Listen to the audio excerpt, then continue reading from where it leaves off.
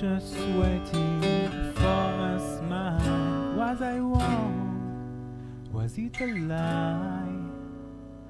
I just feel a bit off my